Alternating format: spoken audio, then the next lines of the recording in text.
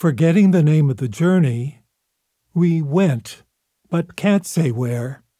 The night released a terrible fury, freeing us into somewhere where safety is an illusion, hiding a terrible truth against the darkness of night. Creativity, like new clothes, is a lifeline, the soul of salvation.